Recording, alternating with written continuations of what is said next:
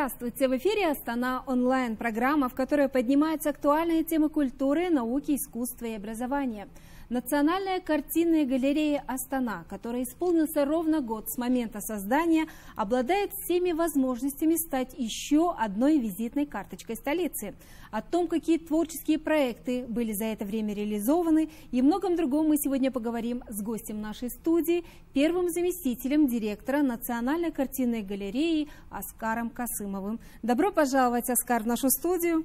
Здравствуйте. В начале беседы по традиции я предлагаю посмотреть сюжет и затем поговорим поподробнее. Алия Сарсенова с детства интересовалась творчеством Сальвадора Дали, Ван Гога и Пабло Пикассо. Окончив школу, она, не задумываясь, выбрала профессию художника. Сейчас Алия работает экскурсоводом Национальной картинной галереи, и вот уже целый год она знакомит людей с высоким искусством. Наша галерея существует уже год. Наша галерея экспонируется 7 залов. Сейчас мы с вами находимся в атриуме. Стены атриума расписаны фрагментами петроглифов.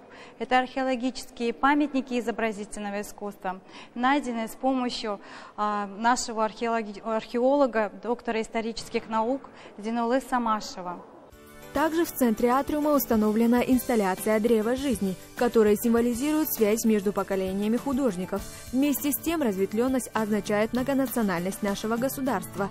Одним из основных залов является зал живописи, где представлены произведения художников-классиков. Среди них работы мастеров кисти Абельхана Костеева и Аубакира Исмаилова. Перед вами яркие, насыщенные полотна Албакира Исмаилова. Он был не только талантливым живописцем, но очень многогранной творческой личностью. Его интересовали многие виды искусств. Он был и танцором, хореографом, балетмейстером, режиссером, актером и фольклористом. В этот день посетителей картинной галереи ждал еще один сюрприз. Вниманию любителей искусства был представлен новый зал современного искусства Казахстана. В этом зале представлено свыше 70 работ, которые отображают э, изменения, произошедшие в 80-х годах в изобразительном искусстве Казахстана. То есть представлены работы художников, которые своего рода являются э, новаторами и экспериментаторами. Особый интерес у собравшейся публики вызвало творчество молодых художников, которые писали портреты посетителей. Оскар Хусаинович, Национальная картинная галерея была создана ровно год назад, весной прошлого года. Давайте вспомним, как она открывалась и кто стоял у ее истоков. Мы созданы на базе э, бывшего Назарбаев центра. Э, было создано указом по указу президента постановлению правительства 28 марта 2014 года. Какие крупные творческие проекты были реализованы за этот год? Какие можем подвести первые итоги? Галерея состоит из основных трех блоков. Это сама непосредственно галерея, которая имеет пять этажей, а, библиотека и концертная э, служба с концертным залом. Вот. Э, штат э, галереи, Национальной картинной галереи Астана, это 269 человек. А в самой галерее э, у нас находится более 6 тысяч квадратных метров. Это площадь экспозиции. Значит, в фондах у нас хранится более 5 тысяч картин. Вот, значит, если говорить про библиотеку, то в библиотеке у нас э, на сегодняшний день более полумиллиона экземпляров книг. Если говорить о книгах, э, которые касаются непосредственно искусства, изобразительного искусства, у нас порядка где-то 120 тысяч экземпляров. А, Оскар Хусаинович, я знаю, что изначально, когда создавалась Национальная картинная галерея, то она планировалась как научно-исследовательский центр по изучению истории изобразительного искусства Казахстана. Вот какая работа ведется именно в данном направлении? Совершенно верно. У нас э, галерея намного профильная, и один из, э, одно из направлений – это научно-исследовательская работа. Э, занимается этим научно-исследовательская лаборатория, которая ведет э, работу по изучению творчества художников, которые у нас находятся ну, в нашем распоряжении нашей галереи. Также э, идет сбор информации о этих художниках, о этих произведениях. А вот э, скажите, Оскар Хусейнович, mm. насколько на сегодня изучена вообще история изобразительного искусства Казахстана? Ну, это такой глобальный большой срез, его изучить практически за короткий промежуток времени невозможно. Его можно изучать постоянно. Это процесс, который он не статичный. Э, поэтому что-то узнаем то, что не знали, что-то изучаем. В Национальной картинной галерее угу. существуют постоянные экспозиции. Я знаю, что они построены на специальной научной основе. Вот скажите, какие экспозиции у вас постоянные и как они располагаются? Совершенно верно. У нас э, есть э, шесть залов, э, в которых экспонируются картины. Вот сейчас седьмой мы готовим. Значит, э, из них э, вот один временных экспозиций, а вот постоянные и временные экспозиции, все это обязательно проходит через научный совет, через методический совет. Э, обязательно это все э, обрабатывается, именно какая картина, почему именно эта картина представлена, в каком, э, скажем так, временном срезе или в какой последовательности. Это для того, чтобы, придя э, посетителю в картинную галерею, не просто посмотрел картины, что-то, а он уже может подойти уже с каким-то, ну, задаться вопросом, почему именно эта картина, почему этого художника. Вот, в общем, э, и я хочу сказать, что на этих а, даже постоянные картины наши вот экспозиции, они все равно иногда трансформируются. Иногда заменяются картины, когда либо приходят новые... То есть э, выставки постоянно обновляются да, новыми произведениями, они не так, новыми именами? Да, не так, может быть, быстро, как сказать, там в течение недели, месяца, может где-то в течение полугода, но а, всегда а, сохраняется концепция, сохраняется вот эта научная основа, почему именно эта картина попала именно в этот э, зал, в эту экспозицию. Ну вот вы сами сказали, что в Национальной картинной галерее представлены более пяти тысяч работ живописи, графики и декоративно-прикладного искусства. Расскажите, пожалуйста, о самых ценных экспонатах галереи. Мы, конечно, стараемся и отбираем самые лучшие – но лучшими у нас э, являются э, наши это классики или вот наши научные концепции, которые подходят, это там ну, известные художники, там Костеев, Тахлудов, Сидоркин, Исмаилов.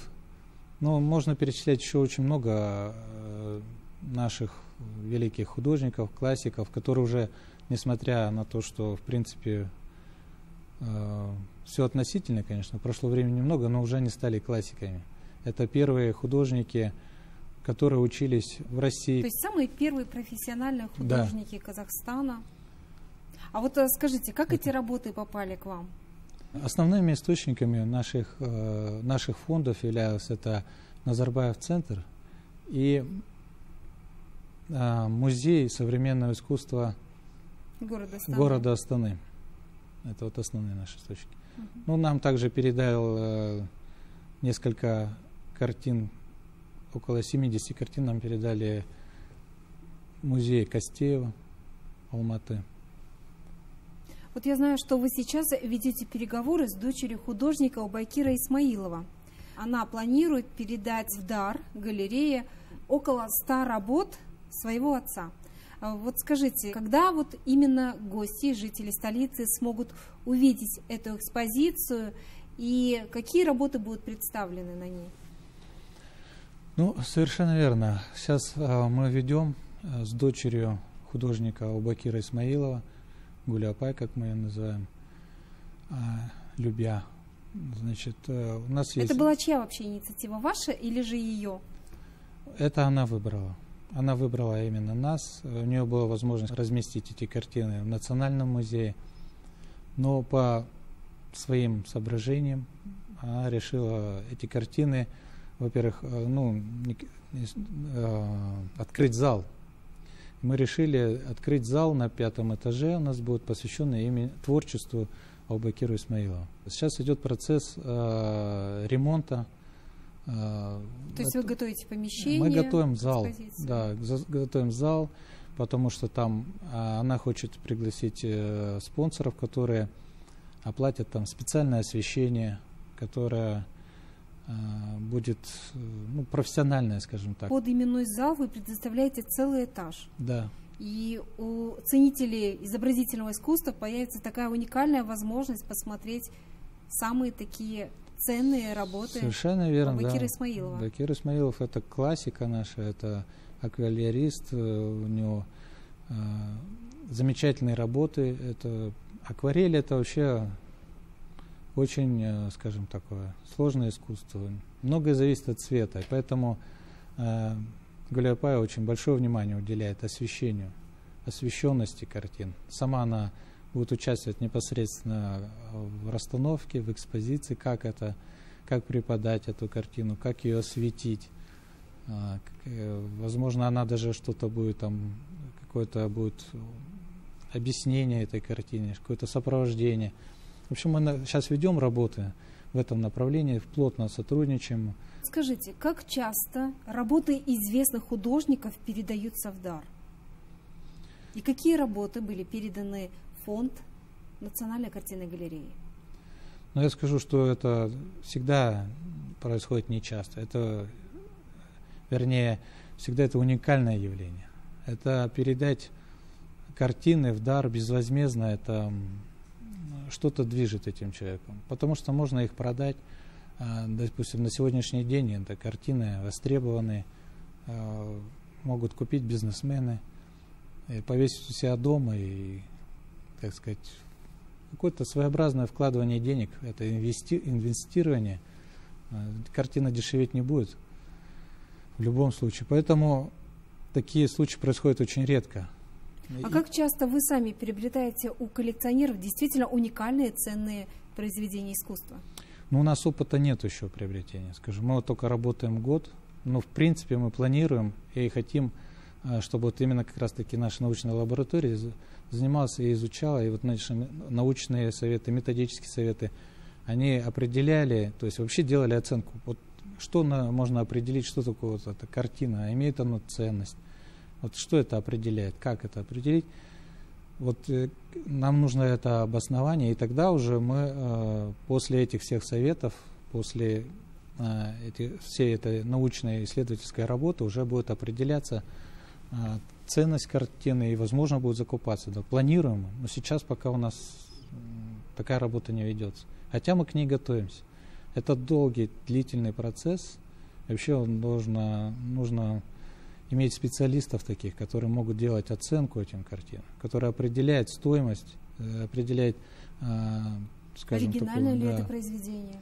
культурную ценность, вообще ценность для государства, нужно ли это, для чего это, ну, тоже вот вы правильно сказали, очень важно определить оригинал и подлинность картины. Поэтому это большая работа, которая... А есть ли у нас в этой области такие опытные специалисты?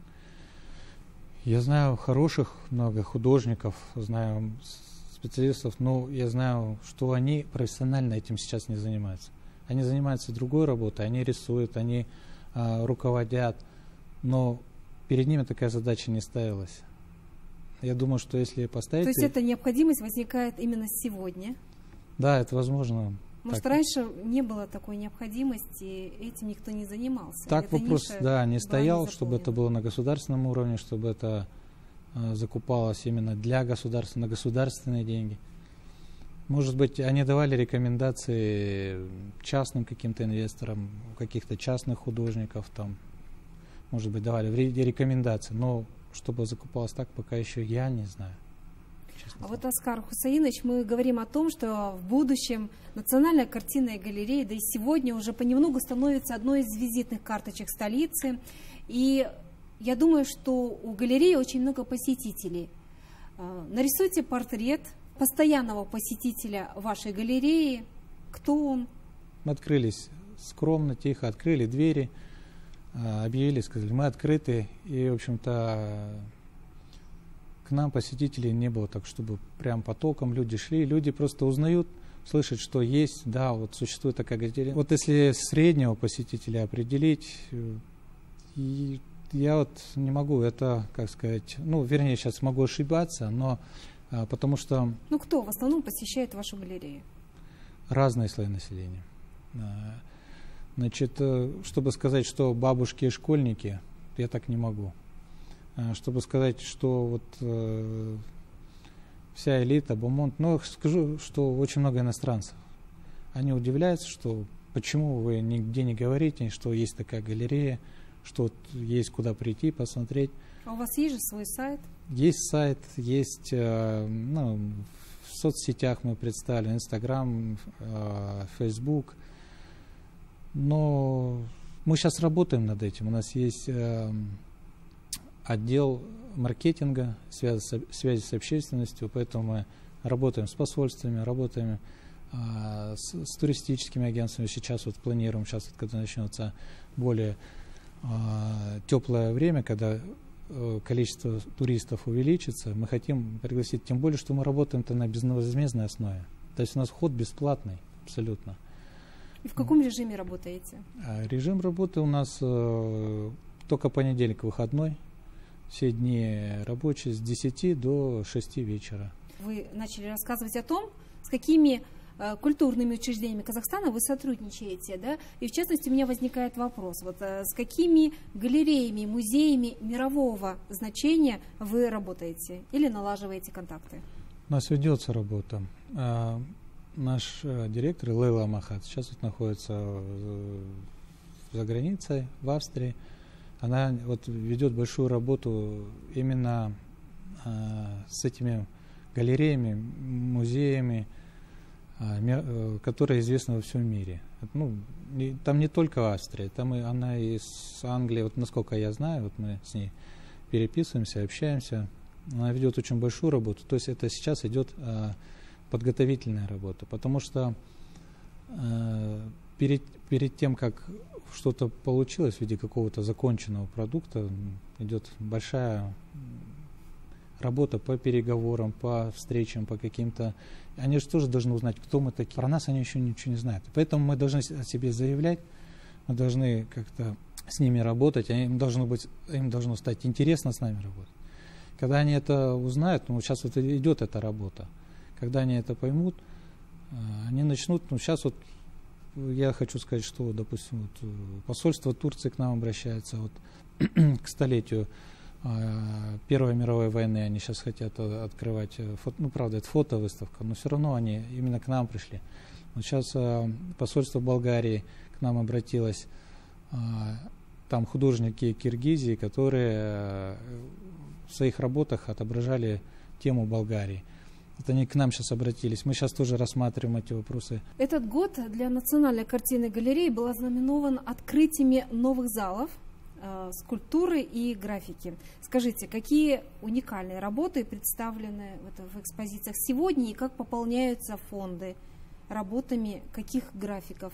Там были представлены работы таких известных художников уже, вот, классиков, как вот мы говорили, Ульфарус Исмаилова, Айша Галимбаева – ну, очень много художников. При Национальной картинной галерее работают творческие студии. Вот э, привлекаете ли вы туда юных талантов? У нас есть просветительская служба. Э, значит, там на сегодняшний день занимается около 160 э, детей. И в том числе, не в том числе, а еще э, около 25 инклюзивных детей. Э, работы ведутся по изобразительному искусству, по теории искусства. В каком возрасте можно приводить ребят в ваши творческие студии? И вообще, как правильно, даже в каком возрасте нужно начинать ребенку рисовать и работать вот именно с профессионалами, художниками, на ваш взгляд? На мой взгляд, э, ребенка чем раньше приведете к педагогу, заниматься лепкой, рисованием – тем лучше для развития моторики, для развития восприятия цвета, для э, создания композиции, для более таких тонких работ, тем лучше. Потом, э, если прививать именно правильный вкус, то, на мой взгляд, э, будут появляться желание и умение и хотение более прекрасному, более, потому что формирование вкуса – это наша задача тоже. Привить э, людям, что является ценным, что является красивым, как определить красоту и сказать, это красиво, это некрасиво. Как? Это же прививается вот именно этой работой, где... С малых лет. Да, и с малых лет, и когда они видят именно работы настоящих художников, настоящих э, мастеров. мастеров, и они понимают, что вот это эталон, к этому надо стремиться. Оскар Хусаинович, благодарю вас за то, что вы уделили время, пришли к нам в студию, рассказали о Национальной картинной галерее. Желаем вам успехов и процветания, чтобы э, на ваших экспозициях было очень много интересных, уникальных работ известных художников. Ну а телезрителям я напомню, что сегодня у нас в гостях был первый заместитель директора Национальной картинной галереи Астана Оскар Касымов. Нашу программу вы также можете посмотреть на сайте bmtv.kz. Спасибо за внимание, смотрите нас по будням в это же время.